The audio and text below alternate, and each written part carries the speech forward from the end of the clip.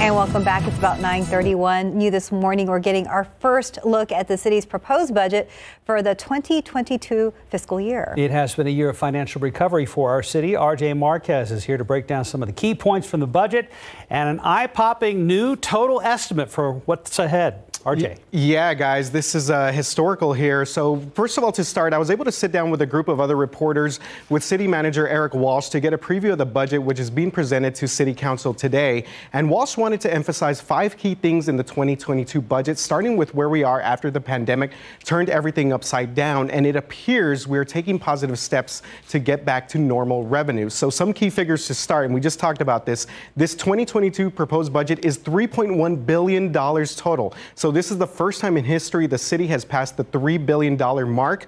A total of $1.3 billion is in the general fund, which will be broken up into several programs.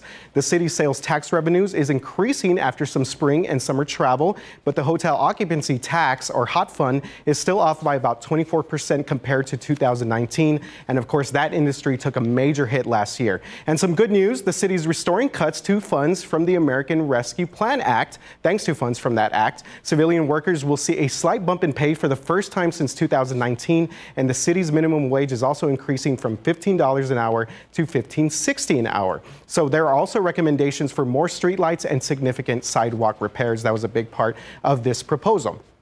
So another key message from the proposed budget is taking a coordinated approach on mental health, access to care and technology, and simplifying the way people can get access to affordable housing programs. And the city also wants to make some changes to the way that police officers respond to calls. This was a big part of this. The city is recommending a multidisciplinary team that includes a paramedic, a mental health clinician, and an officer to respond to certain calls for mental health. So this would be a pilot program to start. There are also proposed changes to domestic violence calls that include includes adding more resources to Metro Health's Violence Prevention Division.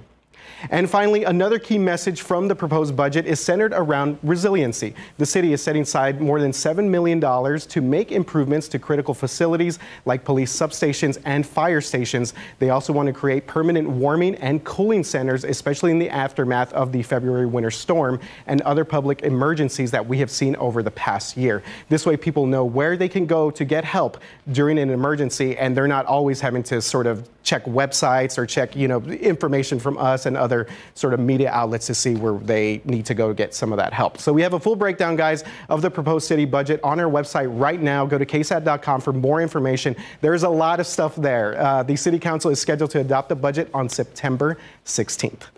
Mark and Stephanie?